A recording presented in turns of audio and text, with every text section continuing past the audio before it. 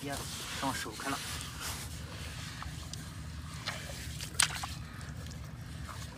脚应该问题不大，是不是啊？是不是的？哎哎呦，呦这还行。哎呦，这一走，干这行，这一个刚用盐一喉就出来了，出来的也太快了，这一个啊，这个头就算大的了。像这种眼儿，扁扁的，它底下就不是称王了，就是那个月亮贝了。这个知道了吧？多看看，多学习学习。哪天来海边，你也就学会了。这个称王好像是不太出啊，逃跑的方向。那别的呢？写好了。嗯，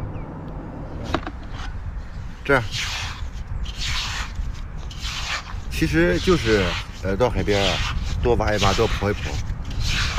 你看这个眼，顶上那么小，底下这么大，最底下就躲着月亮贝。现在这个天季节呃冷啊，它这个好吃了，可以了。这个像这种，它就就待的浅一点，一挖就出来了。有的深呀，得挖三十多公分。你看这个眼，扁扁的，还是这个。如果说你也喜欢赶海的话，给我点个赞好吗？啊，非常感谢。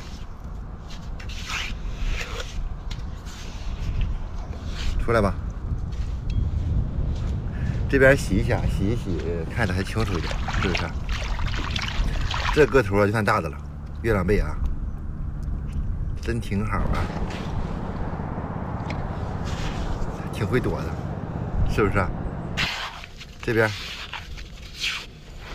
哎呦，这一个，你看看，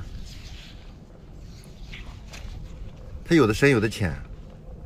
大小也不一样，这个这东西因为自然生长，你看沙滩上。潮水啊，差不多了，一会儿就涨潮了。其实每次就是涨潮之前啊，能多捡点东西，因为它任何的海货呀，它沙子里待久了不太舒服。这个就是退潮没跑了的，知道了吧？找一找啊，这旁边应该还有。你看这个地方，这是刚鼓出来的包。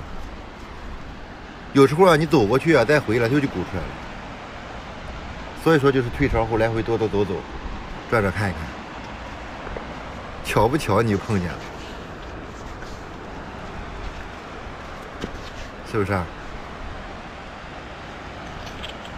挺好吧？这个毛孩子啊。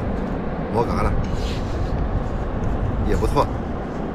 好了，散会了啊。